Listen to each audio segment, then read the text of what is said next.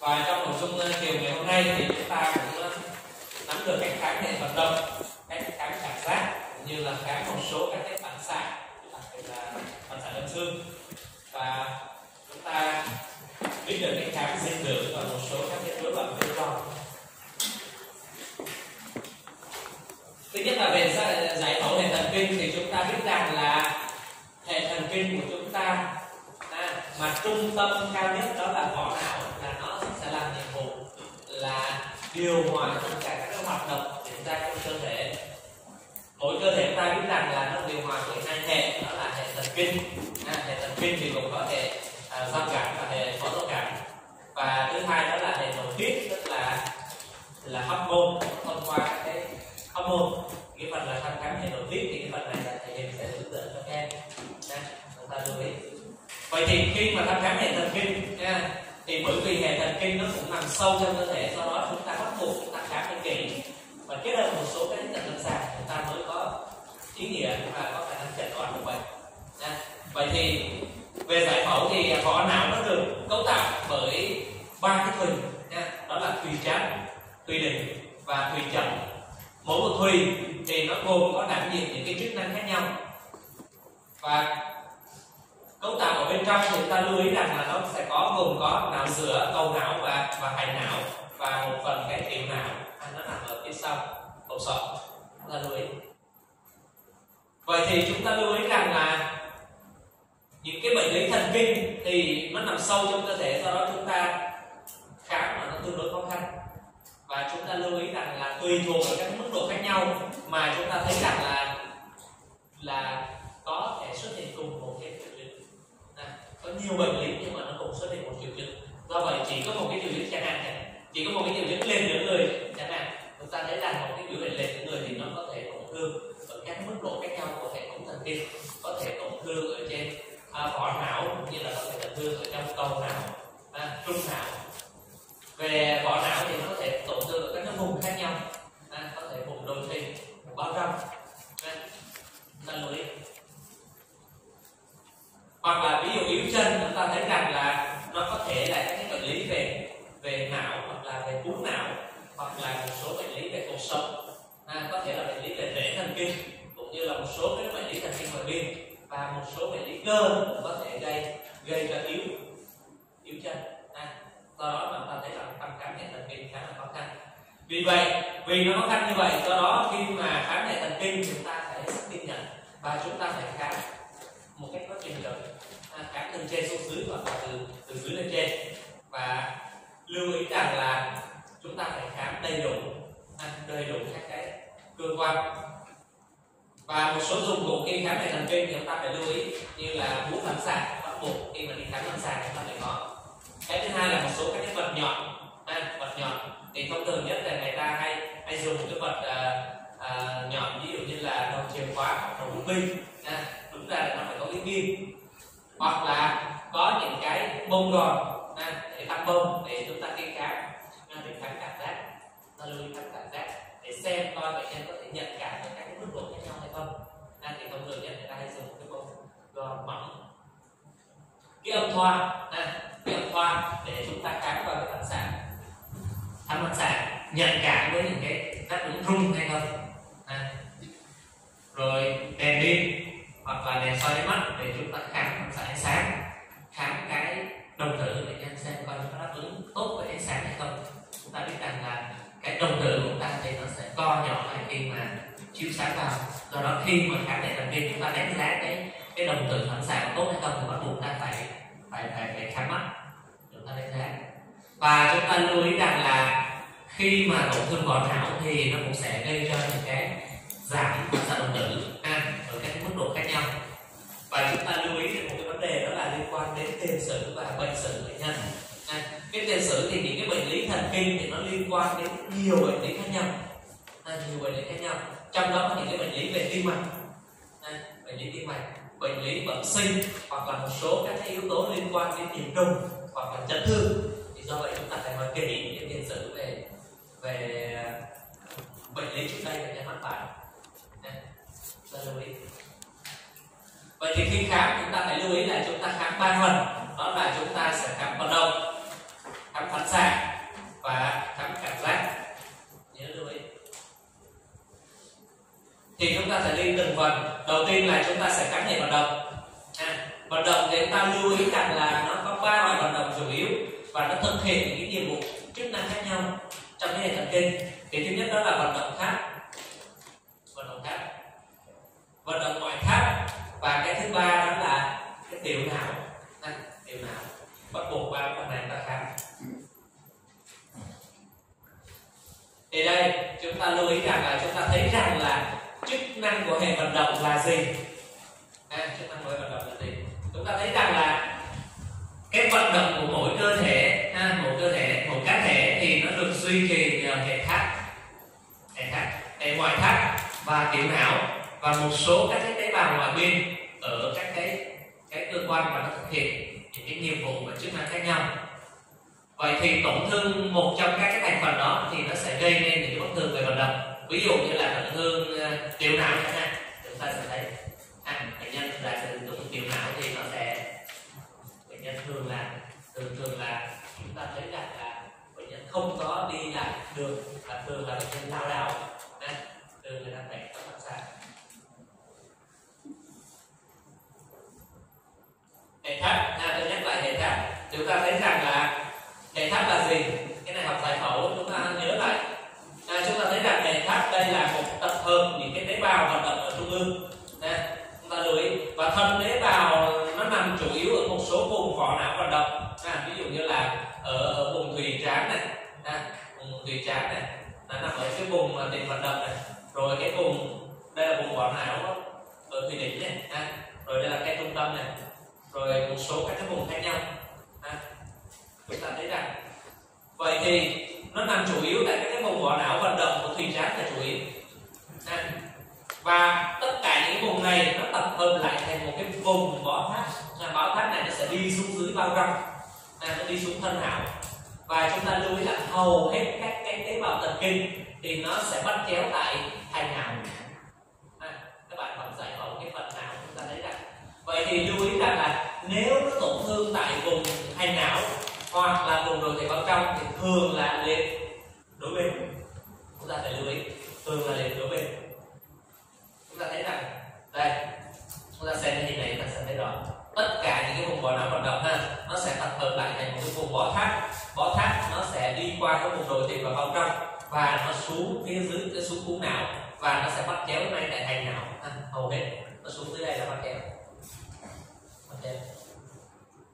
Do vậy khi mà có biểu hiện tổn thương lên, thì thường là liệt đối bên có nghĩa là sao? Cũng là chúng ta thấy rằng bệnh nhân nếu mà liệt ở bên phải thì thường nó là tổn thương vỏ não vùng vận động ở bên bên trái và ngược lại lưu ý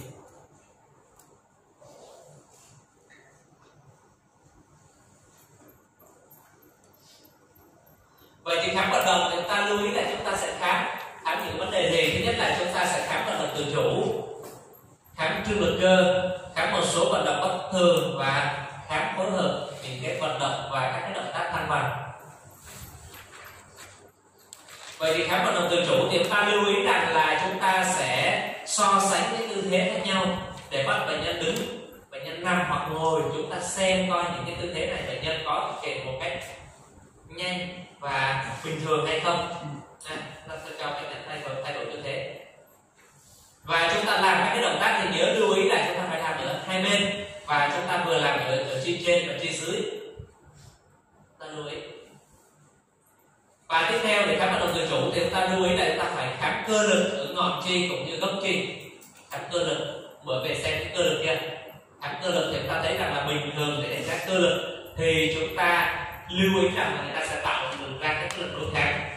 À và để mà đánh giá cơ lực thì tốt nhất là chúng ta yêu cầu bệnh nhân thực hiện lại các cái động tác đối kháng với người khác. Giả sử chúng ta bảo bệnh nhân là nâng tay lên, hoặc là dùng các thiết bị khác, gấp tay hoặc duỗi tay để xem coi cái cơ lực của bệnh nhân nó có thắng được trọng lực, hoặc là nó có thắng được lực đối kháng của người khác hay không. Thì bình thường thì người ta sẽ đưa ra sáu cái mức độ. À sáu cái mức độ về cơ lực. Chúng ta lưu ý. Thì sáu mức độ này chúng ta nhìn trên, chúng ta thấy nếu mà cơ lực bằng không thì gần như là liệt hoàn toàn. Cơ lực bằng không thì hoàn toàn còn cái cơ lực bằng năm thì nó là bình thường. Tất cả là đây. Thì hầu như, chúng ta thực hiện à, các cơ lực của một số các cái cơ hoặc là các cái chi chi trên chi dưới thì hầu như nó là cơ lực bằng năm. Cơ lực năm cũng là bệnh nhân. Chúng ta bảo bệnh nhân và gần như cơ lực bình thường và bệnh nhân thắng được các cái cái sức đối kháng lại của người khác. cơ lực bằng bốn thì vận động được nhưng mà chúng ta lưu ý rằng là không có thắng được sức cản ha? Không có thắng được sức cản của người khác.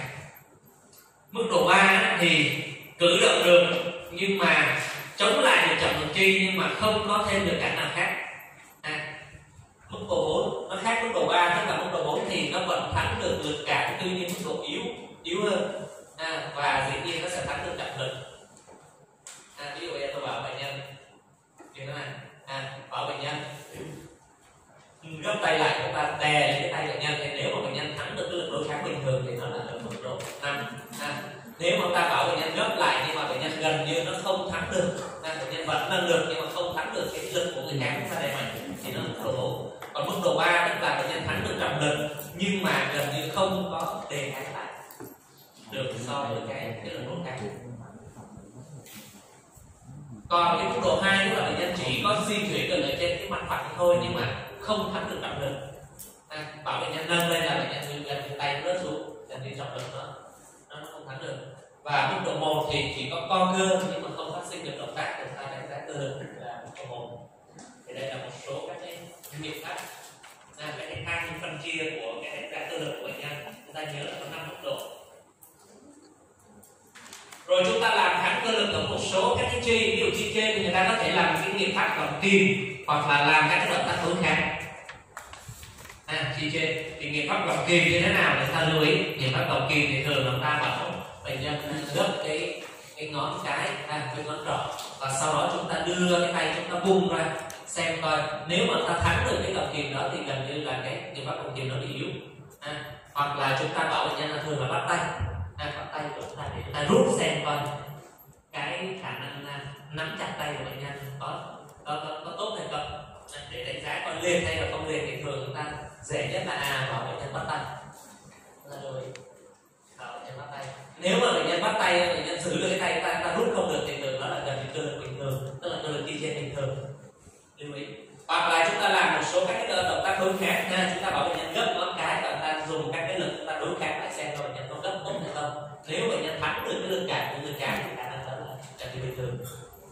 ta để đánh giá những cơ lực. Còn đánh giá cái cơ lực gốc chi thì chúng ta lưu ý là người ta sẽ có một số cái nghiệm pháp người ta cũng làm các cái động tác đối kháng hoặc là nghiệm pháp Barre hoặc là Migazini đây là chúng ta lưu ý. Đây là chúng ta làm một số các cái động tác đối kháng. Ví dụ chúng ta bảo bệnh nhân là là gấp cái ngón chân à, cái bàn chân lại với nhau. À, gấp tức là này chúng ta lưu cái chân này nó hơi ngược với cái tay một chút. Gấp tức là sao? Cái này gấp tức là đáng lẽ nó về đây là gấp nhưng mà không phải nó về đây nó là, là sủi còn gấp tức là nó, nó xuống này. Đây là động tác gấp này ta gấp gấp xuống. Còn ta đè lên chúng ta đối kháng với bệnh nhân xem coi nó thắng được cái cái cái lực của người khám hay không. Nên chúng ta lưu ý một số các cái động tác đối kháng. Nó bảo bệnh nhân nâng nâng cái chân lên ta đối kháng lại. Lưu ý hoặc là một số các cái động tác ha. Barre hoặc là Mingazini Barre là như thế nào chúng ta đây? Barre tức là chúng ta lưu ý là người bệnh thường là nằm ngửa và hai tay đưa thẳng tạo với mặt xương một góc 60 độ. Và chúng ta thấy rằng là bên nào yếu thì nó sẽ lên. À, yếu lên thì nó sẽ rơi xuống trước. Chúng ta lưu ý. Đây là Barre hoặc là Barre trên dưới thì chúng ta lưu ý là bệnh nhân nằm sấp ha chúng ta nằm sấp này chúng ta dựng hai cẳng chân về cái đùi và chúng ta kéo ngược cẳng chân ra ra thẳng ra và ta lưu ý rằng bệnh nhân là không không có sắp được. Đây. Đây là barre đây trên trên. À, nếu mà bệnh nhân bị liệt thì thường là sẽ sẽ rơi tay xuống. Và cái này là bệnh nhân nằm sấp nha bệnh nhân nằm sấp và chúng ta bảo bệnh nhân là đưa cái chân lên nếu mà bị bên nào bị liệt thì nó sẽ rơi xuống trước. Ta lưu ý. Còn Vincazini nó cũng tương tự như vậy à, Vincazini là như thế nào Vincazini thì ta lưu ý là người bệnh nằm nửa bạn hai chân đưa lên cẳng chân thẳng góc với đùi và đùi thẳng góc với mặt giường. Và bên nào lên sẽ rơi xuống tiếp. đây, đưa hai chân lên. Cẳng chân thì vuông góc với đùi và đùi vuông góc với mặt giường. Ta lưu ý. Bình thường chúng ta sẽ giữ được cái tư thế này. Đây bình thường này là tư thế bình thường. Giữ được này chúng ta đưa lên là không bị liệt nhưng trong trường hợp nếu mà có các cái tổn thương cơ lực thì chúng ta sẽ thấy không thắng được trọng lực. Do đó nó sẽ rơi xuống đây, lưu ý đó là kháng cơ lực. Cái thứ hai là kháng các cái vận động tự chủ à, các vận động tự chủ để người ta đánh giá xem coi mức độ liền, à, mức độ liền như thế nào rồi cường độ rồi một số các cái địa điểm có thể gây liệt.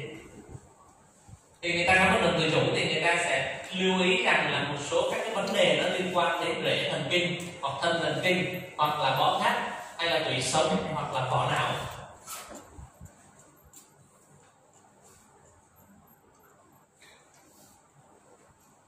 và chúng ta lưu ý rằng là khi mà kháng vận động và kháng cơ lực của từng đoạn thì nó sẽ cho phép chúng ta phát hiện được những cái tình trạng lên ở các mức độ khác nhau. Và từ đó chúng ta có thể xác định được cái cường độ lên cũng như là về địa điểm lên. Thì chúng ta lưu ý rằng là về cường độ thì thường là có lên trên lên hoàn toàn hay là chỉ lên nhẹ. Và chúng ta lưu ý rằng chúng ta so sánh đối sức hai bên để loại trừ một số các cái động tác do đeo cơ hoặc là một số các cái động tác mà các bệnh lý về khớp có thể hạn chế hoạt động.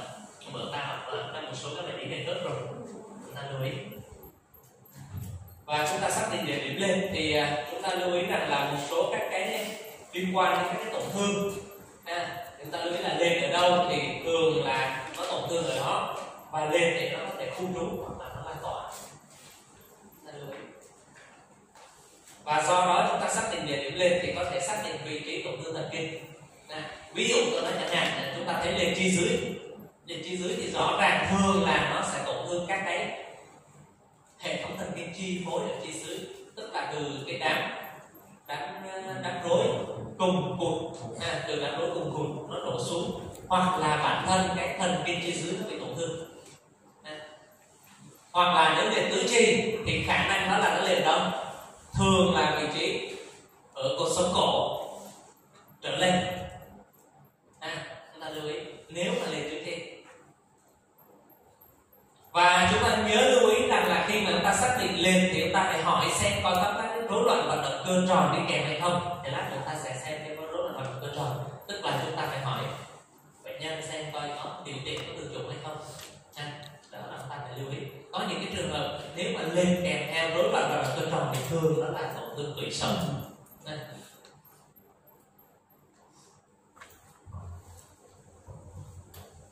đây. Chúng ta xác định địa điểm lên thì nếu mà ở chi trên bị tổn thương thì thường là các cái cái ở tổn thương cổ C5 và C6 à, rồi các cơ delta một số các cái cơ cánh tay trước cơ nhị đầu và sắp dài thì nó cũng sẽ không có không hoạt động được và chúng ta lưu ý rằng là nếu mà liệt đơn thuần thì thường là do tổn thương rễ tủy hoặc là sừng trước tủy sống.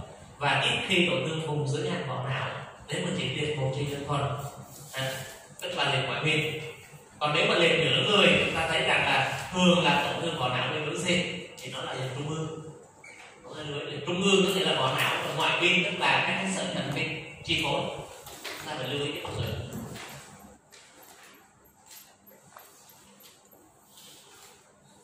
còn còn thằng hai chi dưới như tôi vừa nói thì thường là do các cái tổn thương ở tuổi, hoặc là do tổn thương hai bên về tuổi, hoặc là một số các cái tổn thương thần kinh ngoại biên và rất ít khi mà do tổn thương hai bên bắn cầu đại não. Nha lưu ý cái dịch liền hai chi dưới. Do đó từ đó chúng ta mới suy ra được, định khu được cái vùng tổn thương thần kinh nào. Và chúng ta có thể ra những cái cận lâm sàng để định hướng tổn thương thần kinh. Liệt ngón chi thì thường là tổn thương bó thắt hoặc là một số dây tinh ngoại biên mà nó sẽ hay gây liệt ngón chi ngón chi là đâu? Chi là các cái đầu ngón tay ngón chân. Còn gốc chi á, thì thường là tổn thương về tủy hoặc là của các cái bệnh lý về cơ chúng ta lưu ý. Vậy thì chúng ta sẽ có cái kết luận như thế này. Nếu mà liệt trung ương á à, liệt trung ương thì nếu mà liệt mềm thì thường nó chuyển sang liệt cứng và là liệt trung ương hoặc là các cái phản xạ gân xương nó tăng, hoặc là có phản xạ Balinski thì khả năng đó là liệt trung ương, tức là do tổn thương vỏ não. Chúng ta lưu ý. Cái chỗ này là các bạn này nếu mà liệt mềm chuyển sang liệt cứng? À ta lưu ý. Và phản phản phản xạ Babinski phản xạ Babinski là phản xạ như thế nào? À thì lát nữa tôi sẽ nói kỹ hơn. Babinski là chúng ta dùng một cái vật nhỏ, chúng ta kích thích ở mặt ngoài cái bàn chân à, sau đó chúng ta hút à, chúng ta hút dọc theo mặt ngoài bàn chân nếu mà chúng ta sẽ thấy cái ngón cái nó gập xuống và các cái ngón còn lại nó rỗi ra thì đó là Babinski tương tự có Babinski hoặc là một số các cái dấu hiệu tương đương với Babinski một số tác giả đưa ra ví dụ tác giả Nguyễn Văn Thành của người Mori người ta đưa ra tức là người ta sẽ dùng cái vật nhỏ người ta hút ở mặt ngoài bàn chân à, hoặc là những cái giá trị ờ, có tương đương đó là nghiệp pháp Oppenheim à, cũng tập xương chay nó cũng có giá trị tương đương còn nếu mà luyện ngoài biên đó thì thường là luyện mềm và phản xạ cân dương nó sẽ giảm. Và nó có thể có những cái biểu hiện như là teo cơ và một số các phản ứng thoái hóa điện. Ta lưu ý. Vậy thì để phân biệt liệt trung ương với liệt ngoài biên thì chúng ta xem coi có liệt cứng hay là liệt mềm. Cái thứ hai là xem có phản xạ cân xương tăng hay giảm. Và cái thứ ba đó là Babinski có hay không. Đối với trung ương thì chắc chắn có Babinski vậy thì nếu có Babinski thì khả năng đó là tổn thương bó thắt nội tình hoặc bóng bao răng hoặc bó nào, à, chúng ta từ đó xác định được các nhóm nguyên nhân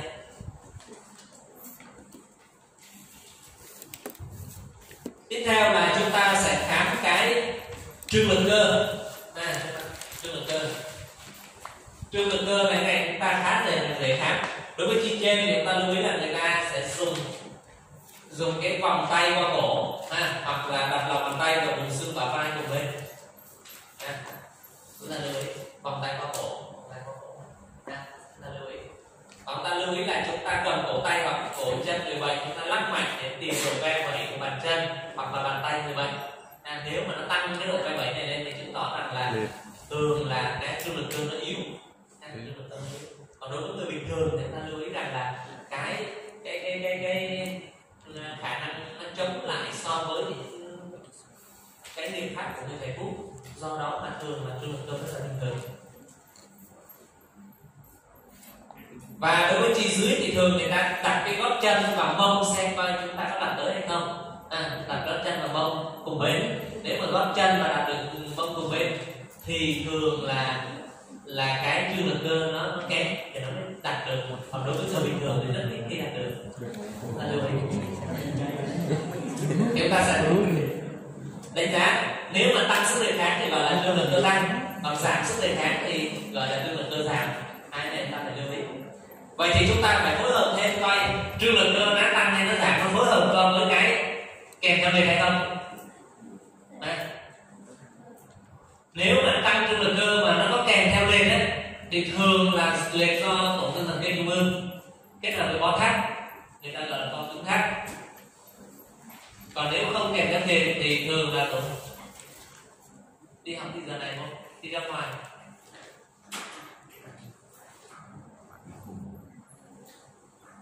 Nếu mà không kèm theo được thì chúng ta lưu ý rằng là thường là tổn thương ngoại tháp người ta nghĩ nhiều đến bệnh lý Parkinson. Parkinson là là lưu ý là một cái bệnh lý mà không kèm theo lên và nó gây cho tăng trương lực cơ bệnh nhân thường có biểu hiện là rung tay chân. À, biết cái bệnh lý Parkinson chưa à Parkinson là cái người mà cứng đờ tăng trương lực cơ ấy này phải nhớ là thường là rung tay chân. Và khi mà bệnh nhân vận động nhiều hoặc à, nghỉ ngơi thì bệnh nhân nó sẽ đỡ. À, lưu ý cái bệnh lý Parkinson còn nếu mà giảm tương lực cơ mà kèm theo lên tức là liệt mềm ấy thì thường là liệt ngoại biên hoặc là liệt trung ương ở giai đoạn đầu. Liền trung ương giai đoạn đầu thì rất ít gặp thường là liệt liền ngoại biên là chủ yếu. Còn nếu mà giảm trương lực cơ mà nó không kèm theo lên ấy, thì thường là tổn thương các đường cảm giác sâu như là hội chứng tiểu não hoặc là hội chứng tiền đình. Hội chứng tiền đình là cái hội chứng chúng ta rất hay gặp bệnh nhân bị giảm trương lực cơ nhưng mà không kèm theo liệt à, kèm theo đó là kháng trương lực cơ. Và chúng ta cho bệnh nhân khám phối hợp một số các cái động tác và thăng bằng. À, thì lưu ý rằng là cái khám mà phối hợp thăng bằng động tác thì chúng ta lưu ý rằng là cái mà hay làm nhất đó là một số các nghiệp pháp như là Robert hoặc là Tabes à, hoặc là hội chứng tiền đình thì đây là cái nghiệp pháp chúng ta hay làm. Đây là nghiệp pháp ngón tay chỉ mũi. Nha phối hợp động tác thăng bằng thường làm nhé. Tôi bảo bệnh nhân là cho sử dụng cái ngón tay ta chỉ mũi. Ha bảo bệnh nhân làm liên tục như thế nhiều lần và có chỉ chính xác hay không? Để xem có cái khả năng phối hợp vận động và thăng bằng của bệnh nhân nó tốt hay không. Phối hợp với động tác hoặc là chúng ta cho bệnh nhân là cái gót chân tức là nó nó bút dọc đầu gối. À, đối với người bình thường người ta lưu ý là cái gót chân nó sẽ khi mà ta bảo bệnh nhân là dùng cái gót chân bên chân bên kia mà hút dọc so với xương chày. À, từ đầu gối trở xuống bên này thì thực hiện rất là tốt. À. hoặc là là người pháp Robert Robert cái này là có video mà nó không chạy. Robert tức là sao? Tức là chúng ta cho bệnh nhân đứng thẳng mắt nhìn về phía trước. Hai chân uh, uh, chậm và tay thẳng thì nếu mà chúng ta bảo bệnh nhân đi lại ha, đi lại bình thường trên một cái đường thẳng thì bệnh nhân đi rất là bình thường. Nhưng mà khi mà nếu mà có mất sự phối hợp động tác và thăng bằng tức là khả năng tổn thương vỏ não xin lỗi và tổn thương tiểu não thì chúng ta sẽ thấy bệnh nhân mất cái phối hợp động bằng và bệnh nhân đi một lúc nó loạn choạng hoặc là nhiều trường hợp bệnh nhân chỉ cần nhắm mắt lại và bệnh nhân đã loạn choạng rồi.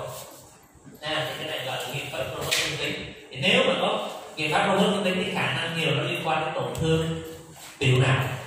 À, tổn thương tiểu não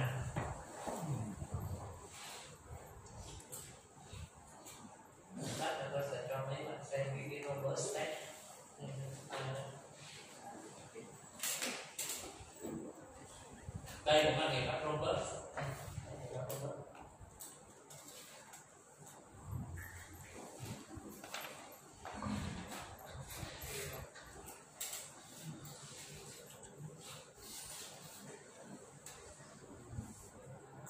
chúng ta nhớ lưu ý chân chập giơ hai tay lên trước mắt nhắm nè thì trong trường hợp nếu mà bình thường thì bệnh nhân sẽ giữ được vững tư thế còn nếu mà bệnh nhân không dùng tư thế thì thường nó, nó liên quan đến tổn thương vỏ tiểu não hoặc là có hội chứng tiền đình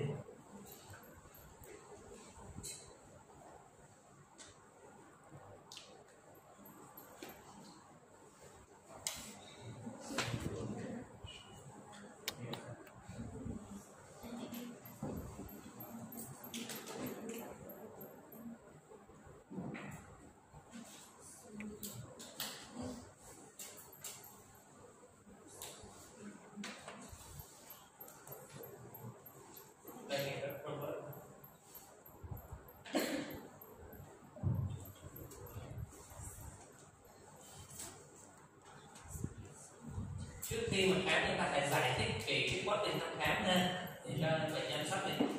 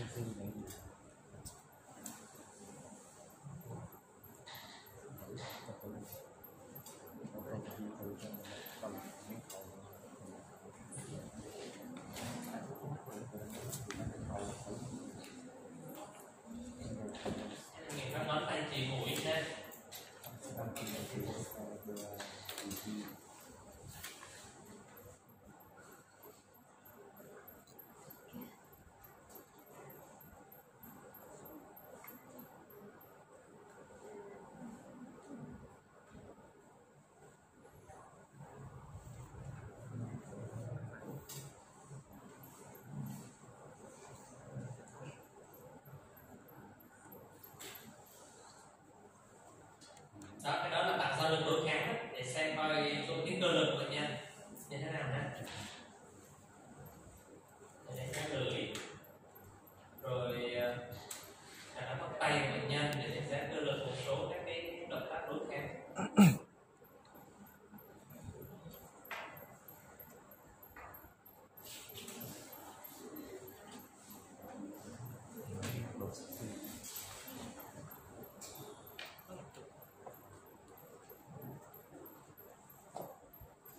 kiểm pháp lật cấp bàn tay. Nha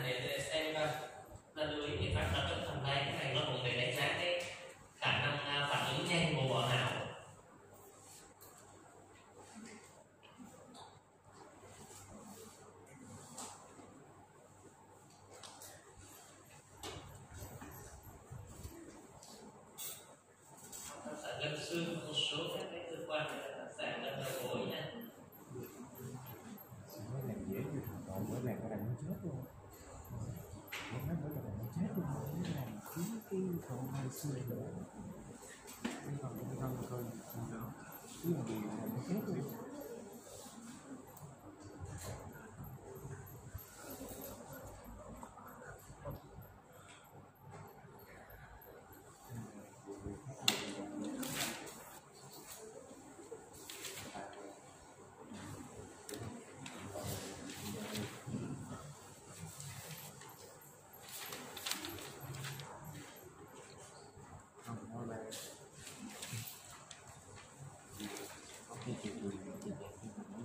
Và chúng ta khám một số các cái vận động bất thường. Chúng ta lưu ý là khám một số vận động bất thường chúng ta để tìm coi có những cái vận động bất thường hay không. Thì chúng ta lưu ý rằng là chúng ta thường quan sát bệnh nhân lúc nghỉ xem coi trong cái thời gian nghỉ đó bệnh nhân có những cái vận động bất thường hay không. Hoặc là chúng ta có thể kích thích bằng búa phản xạ hoặc là kim châm.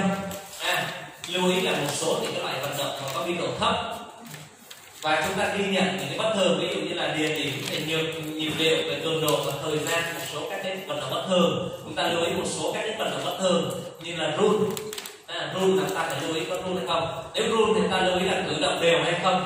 Run đầu chi hay là run ở, ở gốc chi? Và nếu mà ở đầu chi thì thường nghĩ đến nhiều đó là bệnh lý về Parkinson những cái bệnh lý về tiểu não hoặc là Basodo Basodo là một cái bệnh lý nội tiết mà nó làm cho cường chức năng của tuyến giáp khi mà cường chức năng tuyến giáp thì nó làm cho tăng chuyển một số các cái cơ quan hoạt động mà làm cho run tay. Ví dụ này chúng ta bảo bệnh nhân nhắm mắt và giơ hai tay lên trước thì đối với Bazodo nó sẽ run ở biên độ khác nhau. À. hoặc là nghiền rượu. À mấy ông trà mấy ông nghiền rượu là nếu mà không có rượu vô thì nó run tay dữ lắm.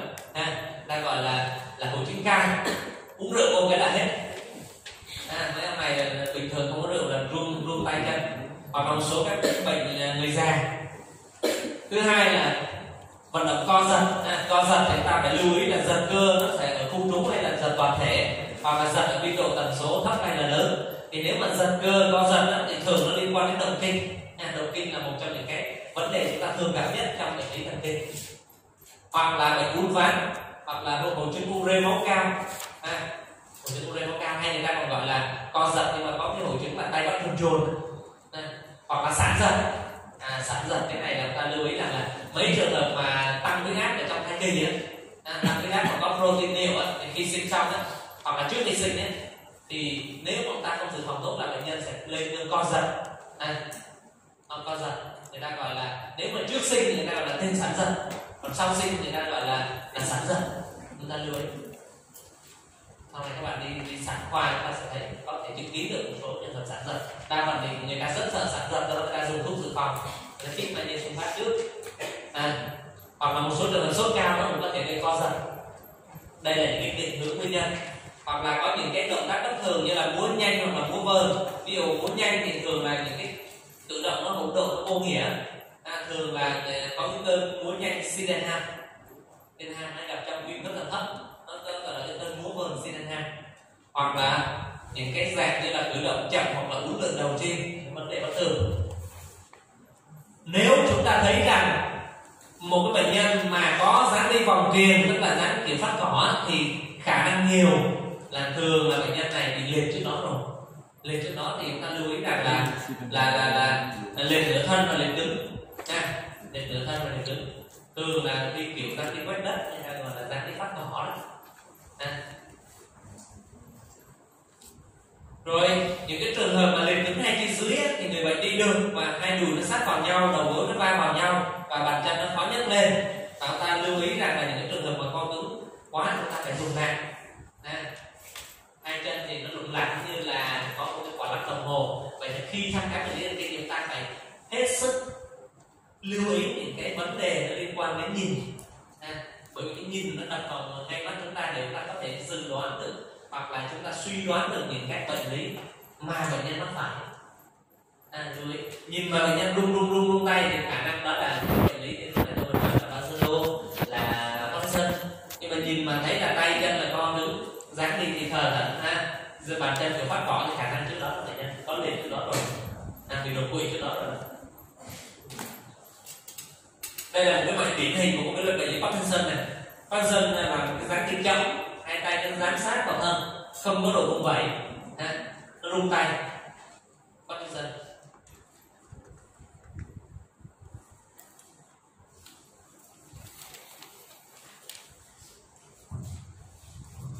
đó là khám vận động vậy thì chúng ta lưu ý cách khám vận động trong một cái mục tiêu thứ hai nữa là khám phản xạ à chúng ta lưu ý là cách phản xạ thì tại vì sao trong bệnh lý thần kinh thì chúng ta phải khám phản xạ bởi vì chúng ta thấy rằng là nếu mà có rối loạn phản xạ thì hầu như nó là chắc chắn có một cái tổn thương thân thể bộ máy thần kinh vị trí chỗ nào đó và chúng ta lưu ý rằng là người ta sẽ đối chiếu các cái khoanh phản xạ với vị trí công chú của những cái phản xạ.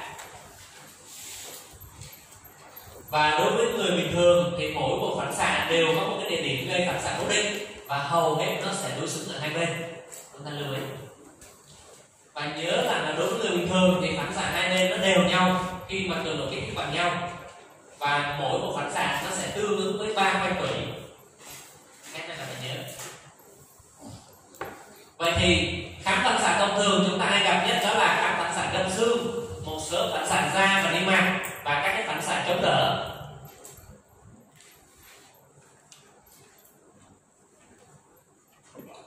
Nguyên tắc khám phản xạ chúng ta lưu ý rằng là chúng ta để ở bệnh nhân ở tư thế thoải mái à, cho ờ, bệnh nhân ngồi hoặc là chúng ta ngồi ghế tựa lưng à, chúng ta lưu ý.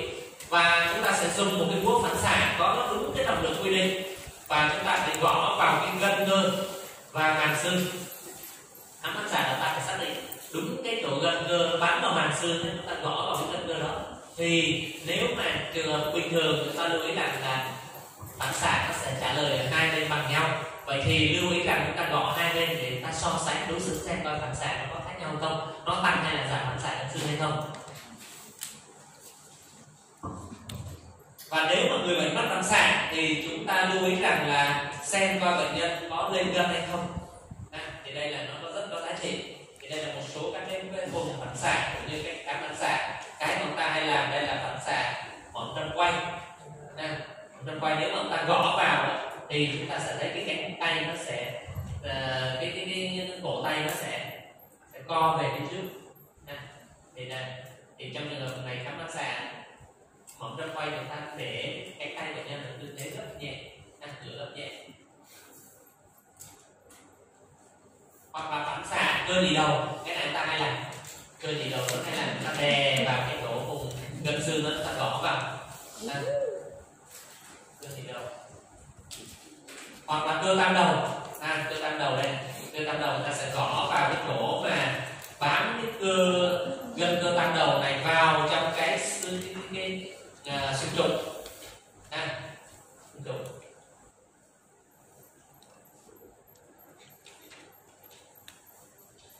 đây đây đây là phản xạ đơn đơn nhị đầu nhé phản xạ đơn đơn nhị đầu. Đây là phản xạ đơn đơn nhị đầu. Đây chúng ta đè lên chúng ta gõ. Gõ ở đơn gân nhị đầu. Đây là phản xạ gân cơ tam đầu nè gân cơ tam đầu. Chúng ta gõ vào cái chỗ bám gân cơ tam đầu nó vào trong cái cái cái, cái khuỷu tay đó là cái xương uh, xương quay. Này xương quay. Đây, mình cơ đang đầu và nhớ lưu ý là mỗi một cái phản xạ thì nó chi phối bởi những cái vùng tuổi khác nhau. Quanh tủy khác nhau. Đây đây là một số các cái quanh tuổi sống chịu trách nhiệm chi phối. À, quanh tuổi sống vùng cổ nó chi phối một số phản xạ vùng cổ.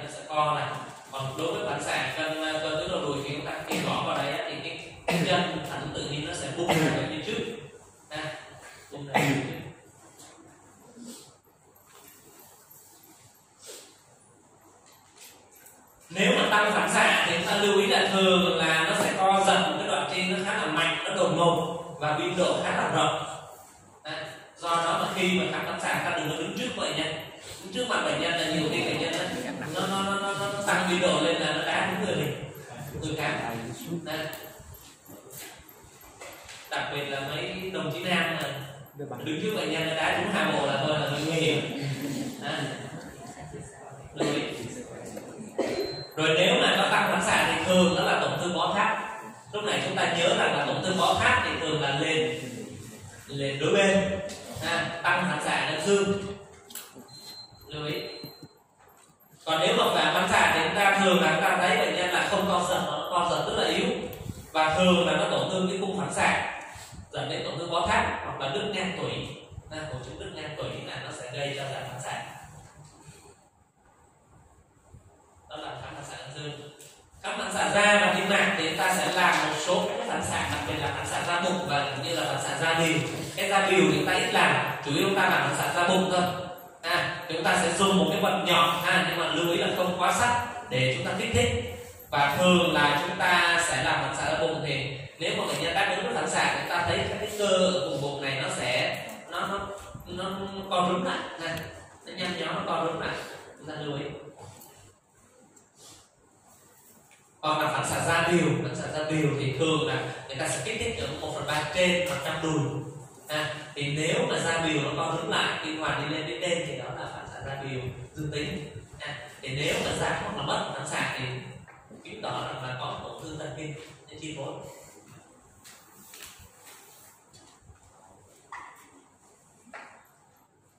Đây là phản xạ Babinski à, phản xạ Babinski ra niêm mạc thì nhớ lưu ý rằng là nếu mà có Babinski thì nó là tổn thương bó thắt nha. Babinski đúng ra người ta gọi là tổn thương là có Babinski chứ không có Babinski dương tính hay âm tính. Bởi vì thực ra bản chất Babinski nó không có ở người bình thường. Do đó là nếu có Babinski tức là có tổn thương bó thắt nha, có tổn thương bó thắt chứng tỏ là liệt là đối bên ha. lưu ý. Vậy thì đối với người bình thường thì người ta sẽ dùng cái vật nhọn ha người ta sẽ kích thích bằng ngoài cái cái bàn chân à, người ta sẽ vẽ từ ở trên dưới này lên hoặc từ trên xuống dưới. Người ta kích thích mặt ngoài thì các cái cơ nó sẽ gấp đồng thời.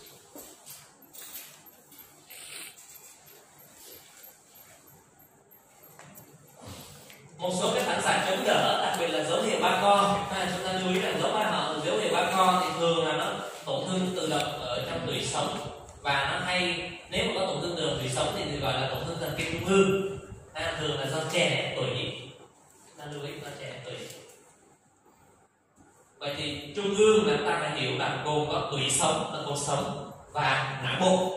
Còn ngoại vi là các cái dây thần kinh chi phối. Nha, cảm giác hoặc vận động đó là ngoại vi. Chúng ta khám cảm giác, cái này cũng là một cái điểm khám rất quan trọng khi mà thăm khám hệ thần kinh. Chúng ta lưu ý là bắt buộc chúng ta phải khám cảm giác nông hoặc là cảm giác sâu cảm giác lông thì thường liên quan chúng ta hay khám đó là cảm giác sờ cảm giác đau hoặc cảm giác nóng lạnh. À, thường là nếu mà có những cái tổn thương này thì thường là nó hay tổn thương có đường tiền trước bên hoặc là phần trước của tủy sống. Còn nếu mà phần cảm giác sâu á, thì thường nó liên quan đến chúng ta khám những cái cảm giác vị trí tư thế hoặc là cảm giác rung hoặc là cảm giác nhận cảm đồ vật. Hay nhận cảm đồ vật liên quan đến cảm giác sâu. À, nếu mà có tổn thương thì thường nó liên quan đến bó gòn và bù đen nè, hoặc là các cái bó thì nó thẳng hoặc bó nó chéo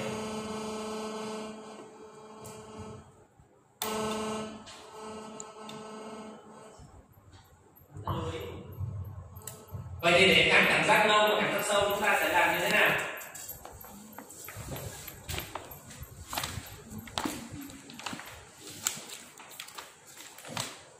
trời đất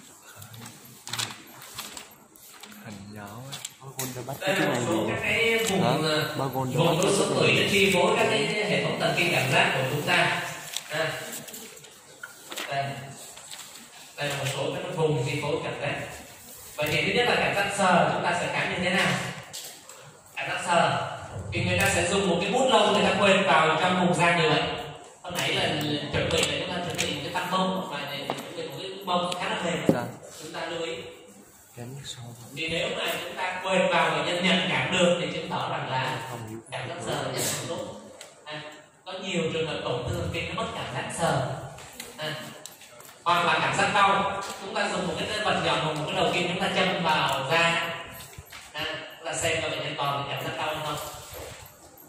Hoặc là cảm giác nóng lạnh. Thì thường là người ta dùng một cái ống điện từ nước đá đặc tăng hoặc là ống, ống nước nóng chúng ta áp vào da bệnh nhân xem coi bệnh nhân còn cảm giác được cái cảm giác cảm giác lạnh hay không? À, chúng ta lưu ý. Thì mấy cảm giác này nếu mà nó có tổn thương thì chứng tỏ rằng là hệ thống thần kinh cảm giác của bệnh nhân cũng bị tổn thương. Nếu có bị tổn thương thì khả năng đó là có tổn thương thần kinh cảm giác đó là thường là ngoại vi à.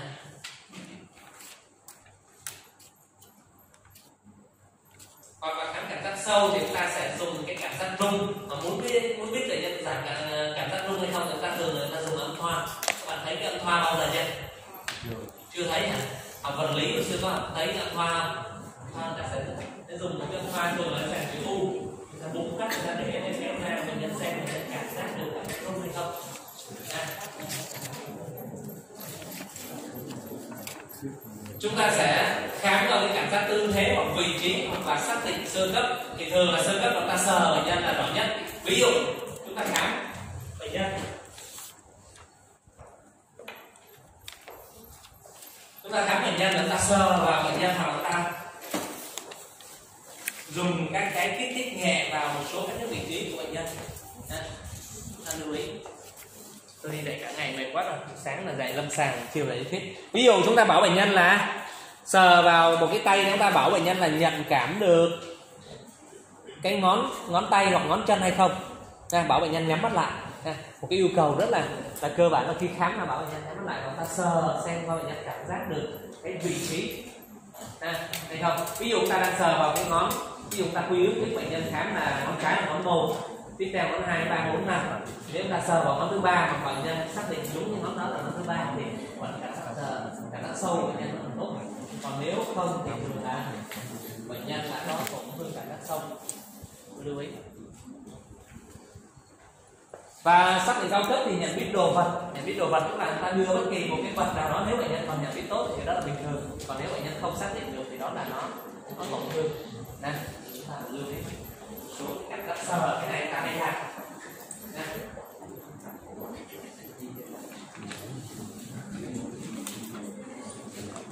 giá trị của các triệu chứng chúng ta lưu ý này.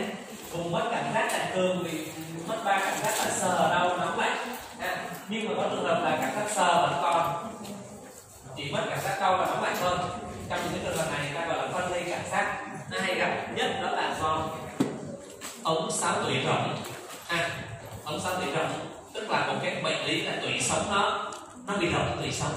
Nha thường là những trường hợp này bệnh nhân nó liệt tình trạng rất là nặng nề. Và gánh nặng về chi phí y tế uh, cho gia đình cũng rất là lớn. À, ống sống tủy sống tức là bình thường ta sẽ có cái tủy sống nó chi phối nó nằm ở trong ống sống. Và xuất phát ra ống sống là các vấn đề thần kinh. Trong trường hợp này là tủy sống nó bị bị rỗng luôn. À, ở trong đó là những cái dịch ở trong đó. Ống sống tủy rỗng nó thường nó liệt là liệt à, nếu mà tùy thuộc vào cái vị trí ống sống tủy rỗng ở vị trí nào nếu vùng à, dưới thì thường là liệt chi dưới còn nếu mà vùng từ cổ đặc biệt là C4, C5, C6, C7 thì thường là mình nhận thấy toàn bộ. Ta lưu ý xuống bệnh lý không sốt tùy động vậy thì những cái cảm giác của chúng ta lưu ý là chúng ta phải khám cảm giác sơ này cảm giác à, nóng lạnh này à, cảm giác à, nhận biết sâu này. Chúng ta phải lưu ý. Ta phải cảm bắt buộc. Những cái cảm giác sâu thì chúng ta thường là lưu ý mất cảm giác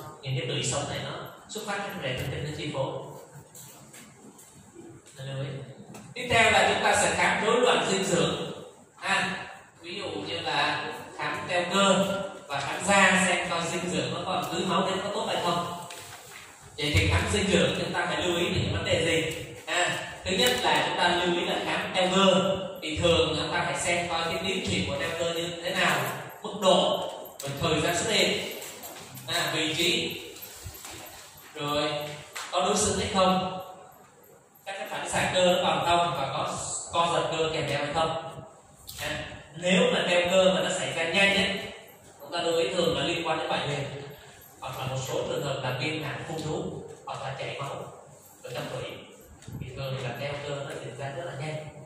Còn nếu mà teo cơ mà diễn ra chậm từ từ á thì thường là nó chỉ có teo cơ thôi á thì thường là người ta gọi là hội chứng Areluchen là nó chỉ bệnh lý teo cơ.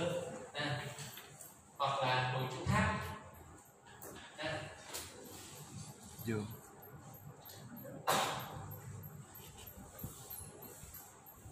rồi hội chứng tiểu não cũng có thể gây teo cơ chậm hoặc là một số các cái rối loạn phân ly hoặc mất phản xạ cân xương hoặc là ống sáu tuổi thì liệt lâu ngày nó sẽ gây cho đeo cơ à, lưu ý. Có một số các bệnh nó có thể gây teo cơ đặc biệt là bệnh lý thần kinh viêm đa dây kinh ha, viêm đa dây kinh và bệnh miễn dịch. Ha, có thể gây theo cơ. Rất lưu ý.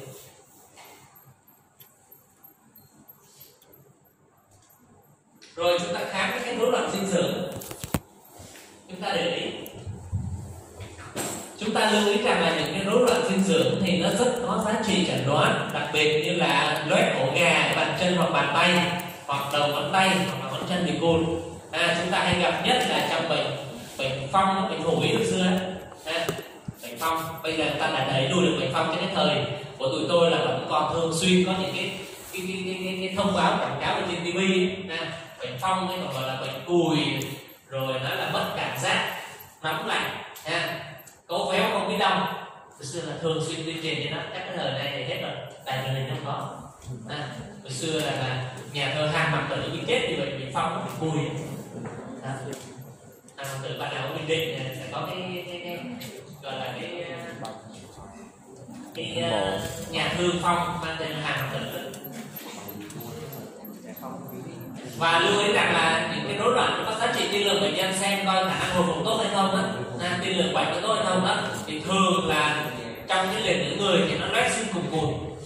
Do đó chúng ta lưu ý rằng là đối với những cái bệnh nhân bị liệt ấy, thì khi mà khám bệnh thì chúng ta phải thăm khám cái cùng cùng cùng của bệnh nhân xem coi nó có bị bị loét hay không.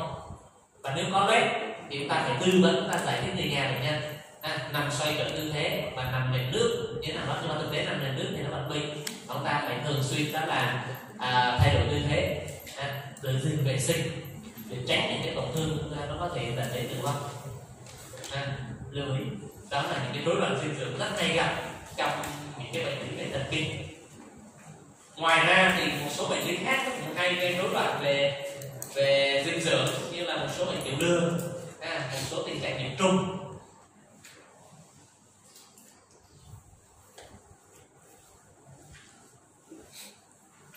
Theo là chúng ta thăm khám cái rối loạn cơ tròn. À, rối loạn cơ tròn. Thì cái cơ tròn là hai cái cơ mà chúng ta quan trọng nhất đó là cơ bàn quan và trực tràng. À, bàn quan và trực tràng. Bàn quan thì nó phản xạ. Đó là con thắt cơ bàn quan à, con thắt cơ bàn quan để giữ nước tiểu. À, còn những cái trường hợp mà tổn thương à, các cái thần kinh thì lưu ý rằng là cái cơ bàng quan này nó sẽ mất chi phối và thường là bệnh nhân dẫn đến là kiểu không tự chủ. Còn rối loạn cơ tròn thì ở vùng trực tràng của chúng ta nó sẽ có cơ thắt hậu môn. À, vùng hậu môn trực tràng sẽ có cơ thắt hậu môn. Thì chúng ta lưu ý là cái cơ thắt hậu môn này cái cơ thắt cơ thắt hậu môn này nó sẽ nó sẽ được chi phối bởi những cái sợi thần kinh ở vùng à, vùng uh, tủy cung cùng vùng là S1 đến S4 đó. chúng ta lưu ý rằng là nếu mà có tổn thương tủy sống tức vùng rễ cung cùn á à, tổn thương ở trên này hoặc là tổn thương tại vị trí đó thì thường là cái rối loạn cơ tròn bệnh nhân sẽ dẫn đến là đi cầu không tự chủ. À, thì nếu mà có tiểu tiện không tự chủ và kèm theo những cái biểu hiện lên thì thường đó là lên lên trung ương rất là còn nào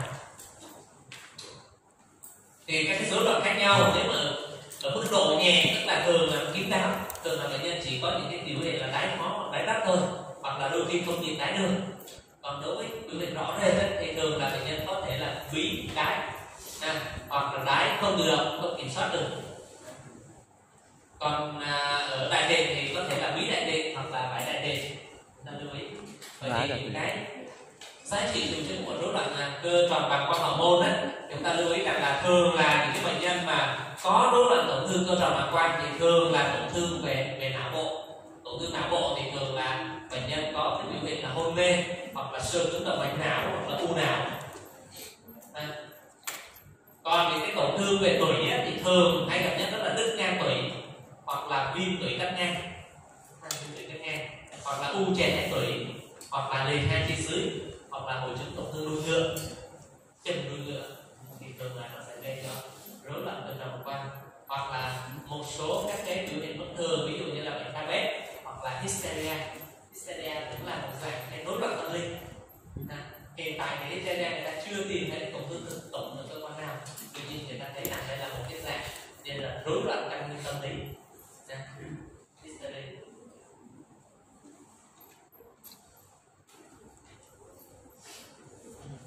Cái ờ, nội dung buổi chiều ngày hôm nay thì ờ, tôi ờ, giới thiệu đến các bạn là toàn bộ những cái nội dung nó liên quan đến thăm khám hệ thần kinh. Vì vậy về các bạn phải coi lại cho tôi cái bài này bởi vì cái bài này nó khá là khó. Do đó chúng ta phải lưu ý thứ nhất là cái khám vận động. Chúng ta xem lại cái khám vận động của bệnh nhân. À, thứ hai là cách khám cảm giác. À, các vận động thì có rất là nhiều vận động đó vận động tự chủ à, rồi vận động có thắt rồi khám cảm giác. Khám cảm giác. À thì nhớ là gồm có cảm giác sâu cảm giác nóng lạnh rồi à, Dạ, dạ, à, sơ vân vân. Rồi khám một số các cái phản xạ. À các phản xạ ta lưu ý. Đặc biệt là những cái phản xạ có giá trị. À, như là phản xạ đơn xương tăng hoặc giảm. Để chúng ta xem có tăng chương lực cơ hay là giảm tăng à, chương lực phản xạ đơn xương hay là giảm phản xạ đơn xương. Để chúng ta xem coi nó có phù hợp với tăng chương lực cơ hay không. Và nếu có phù hợp với tăng lực cơ thì ta phải lưu ý rằng là nó lên trung ương lên trên bởi để chúng ta suy đoán ra các cái tên khu vị trí tổn thương thần kinh. À, và cái nội dung cuối cùng đó là khám cái rối loạn à, cơ tròn bàng quang à, cũng như là khám một số các cái nghiệp pháp đặc biệt các bạn phải coi lại cho tôi đó là nghiệp pháp robust. Chúng ta phải coi lại để xem nó có tổn thương vỏ não hay không. Thứ hai là nghiệp pháp Babinski à, Babinski phải coi lại về cách khám Babinski một số các dấu hiệu tương đương với Babinski cái thứ ba đó là khám nghiệp pháp Barre và Minkasini à, Barre và Minkasini để chúng ta đánh giá cơ lực cũng như phân loại cái mức độ tổn thương cơ lực của bệnh nhân. Đó là những cái nội dung chính sau này chúng ta thi. Ví dụ sau này tôi hỏi là trình bày cách trình bày phân loại mức độ tổn thương cơ lực và nghiệm pháp Barre nghiệm pháp Minkasini chúng ta phải biết à, ta lưu ý.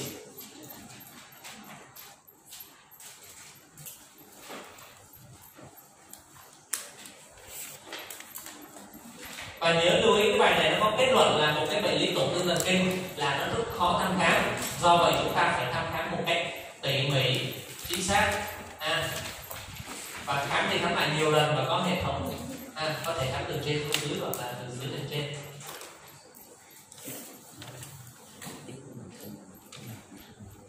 cái phần này thì chúng ta sẽ được học kỹ trong cái chương trình năm thứ năm với các bạn học cái uh, phần độ cơ sở là chỉ có học cách khám một số các cái nghiệm pháp thần kinh thôi. Còn năm thứ năm chúng ta sẽ đi sâu vào chúng ta sẽ khám cái dây thần kinh cũng như là khám cho một số các bệnh lý ví dụ như động kinh khám đột quỵ rồi uh, và một số các cái bệnh lý đặc biệt như là Parkinson bệnh lý viêm tụy cấp nhanh